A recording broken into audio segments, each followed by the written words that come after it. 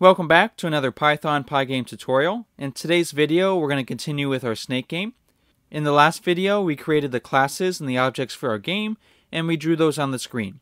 So from before, this is where we got to. We have the three different classes, and then for now, we drew two of those on the screen. What we're going to do in this video is work on making those objects move on the screen. Alright, so let's go and dive in and continue with our game.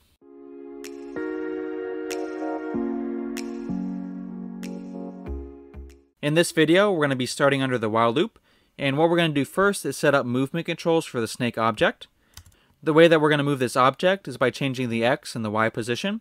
So we're going to start off by saying snake dot rect dot x, which will be the y position of the object, and we're going to say plus equals, so we're going to be adding to this value, and what we're going to be adding to this value is snake dot dx. For the y position, we're going to do something similar. We're going to say snake dot rect dot y. This is going to be plus equals. So just like before, we're adding to this value. And what we're adding in this case is going to be snake dot dy. The reason we're doing this is going to make more sense in a second. So once we get a little bit more code done, then I'll stop and I'll explain what's going on. What we're going to do next is we're going to say key is equal to pygame dot key dot get underscore pressed. So what this is going to do, it's going to store whichever key is currently being pressed into this variable called key. After that, we can check to see which key is being pressed by using if statements. So we're going to say if key square bracket pygame dot uppercase K underscore and then we're going to start off with the left key. So we're going to say left with all caps we're going to close the square bracket and put a colon. So if the left key is being pressed, then what we want to do is say snake dot dx is going to be equal to snake dot speed. So this value right here, speed, and also the dx are values that we defined in the snake class. So if you go up to the snake class, you can see that we have a score and also a dx. So these are the values that we're referring to. So what we're doing here is we're going to set the snake's dx value equal to the snake's speed. So what it's doing up here, it's taking the snake's current x position, and it's going to add this value right here. And this value is going to be equal to 10, p is the snake.speed is equal to 10. So if we run the game, let's go ahead and see how this looks. So if I press the left key, I see that it's moving, but it's moving in the wrong direction. So that lets me know that instead of positive snake speed, I need negative snake speed. So I can just put a minus sign in front of it, and we'll try it again. So now if I press the left arrow key, my object moves to the left. Let's go and continue now with the right arrow key. So what I'm going to do is just copy these two lines right here and paste it down below. This time we're going to be setting it up for the right arrow key, so I'm going to change left to right. And for this part, since negative snake speed moves the object to the left, if I want to move the object to the right, I need positive. So I'm just going to get rid of the minus sign, and then we can try it out. So now I can move the object to the left, and also to the right. Now let's go and set up the up and the down arrow key. So I'm going to copy these two lines and paste them down below. I'm going to change it from left to up and then from right to down.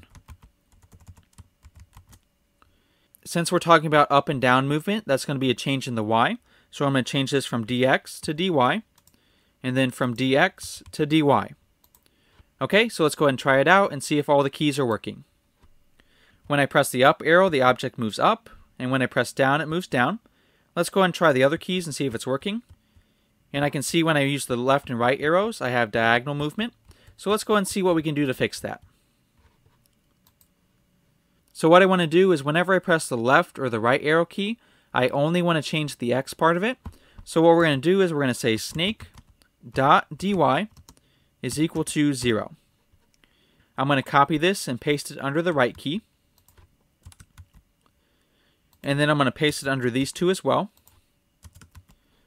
But for the last two, I'm going to change it from dy to dx. So when I'm pressing either the up or the down arrow, I only want to change the Y, and I want the X to stay the same. So now if we run the code, we can try it out again. I can go up, I can go down, and when I press the left and right arrow keys, it just moves in that direction. Alright, so that sets up movement for the snake. So let's go and work on some collisions now. So whenever the snake runs into the food object, we can have the food object move to a different part of the screen. Before we move on, I'm going to add a comment for the section of code that we just wrote. So what I'm going to do is I'm going to say hashtag and then snake movement. Okay, and down below the snake movement is where we're going to define the different collisions that are going to happen in the game. So let's start off with the comments. We'll say hashtag and then collisions. The first collision that we're going to define is between the snake object and the food object. We're going to do that by saying if snake dot rect dot collide rect and then inside the parentheses will be the other rectangle that we're going to be checking for a collision with and that'll be food dot rect. So whenever the rectangle from the snake collides with the rectangle from the food object, what we want to do is move the food object to a new location. And we're going to do that by starting with the food object. And then inside the food object, we define that other function, which we called move. And before we add bombs onto the screen, let's go ahead and just check to make sure this part is working. So what I'm going to do is move the snake object over to the food object and see if the food object moves to a new location. And we can see whenever the snake runs into the food item that the food item teleports to a new location.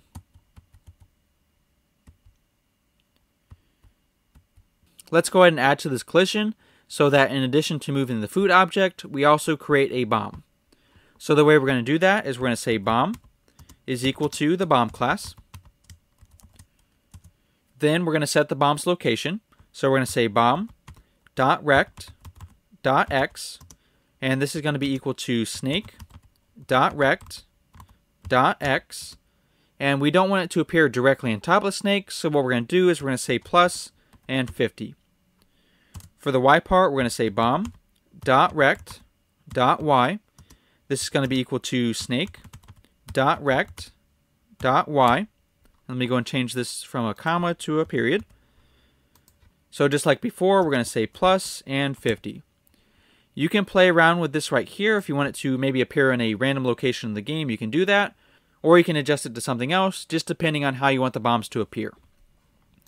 Okay, so once we created the bomb, we want to add it to the bomb group, which we're going to do by saying bomb underscore group dot add, and then inside the parentheses, we're going to add that bomb object.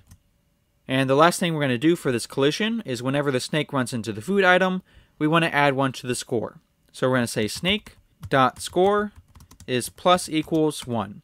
So we're going to take the current value for the score and add 1 to it.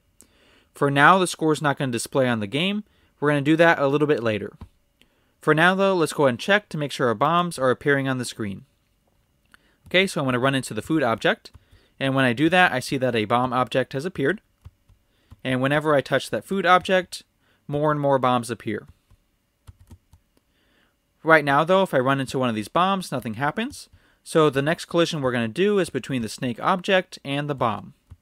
So to check collisions between the snake and the bomb objects, what we need to do is loop through the bomb group to see if there's a collision between the snake and any bomb in the group. So to do that, we're going to use a for loop. So we're going to say for bomb in bomb group.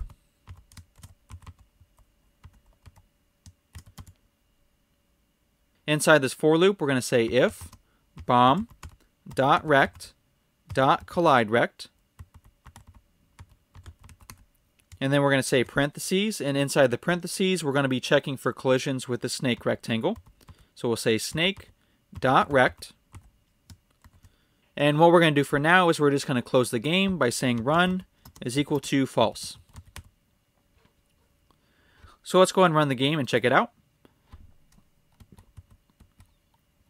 Okay, so I'm going to collect a couple food items and then run into one of the bombs. And we see that we have an error, so what I did is I forgot to capitalize false. So let's go ahead and fix that real quick. So for false, it should be a capital F. So let's go ahead and run the game and try it out one more time. So I'm going to collect the food object and then run into the bomb. And we can see when we ran into the bomb that it closed the game because it set run equal to false. In the next video, we're going to set it up so that when the player runs into the bomb, rather than closing the game, it's going to go back to the start menu. For now though, we're going to finish up this video by displaying the score on the game screen. So to do that, we're going to go up to the redraw function. And right above the section where we draw the sprite groups, we're going to add a new section. I'm going to call this one score. And what we're going to be doing in this section is actually displaying the score onto the game. So to do that, we're going to start with the font. We're going to say font is equal to pygame dot font dot system font. And then we're going to put parentheses. And inside the parentheses, we're going to put two different things. We're going to put the font style and also the font size. So for now, I'm just going to pick a random font.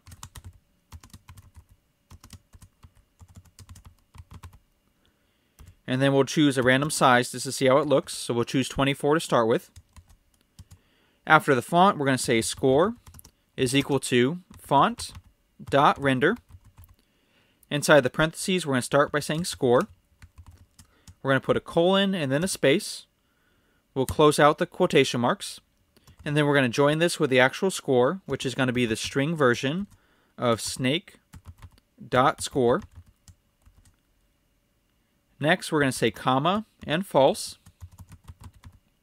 And then comma and the color of the text. So for now, I'm just going to make the text black. After that, we're going to say score rect. So a rectangle for the score.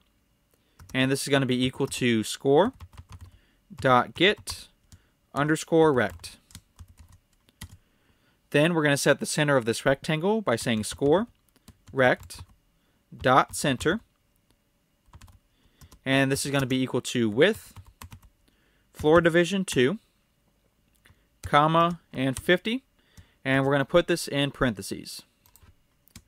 So by setting the center of the rectangle, this is the position on the screen. So for the X part, we're going to put it in the middle. And then for the Y part, we're going to put it a little bit below the top of the screen by saying 50.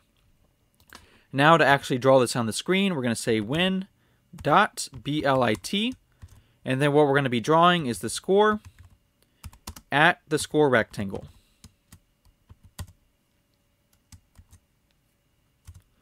Okay, let's go ahead and run the game and check it out.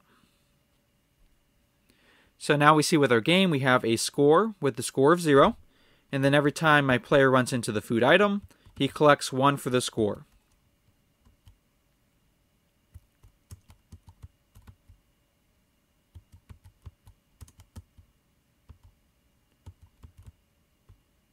And like I said before, in the next video, we're going to be setting up the two different screens so that when the player runs into one of the bombs, instead of closing the game, it's going to go back to the start menu. Alright, so I hope you enjoyed, and stay tuned for the next one.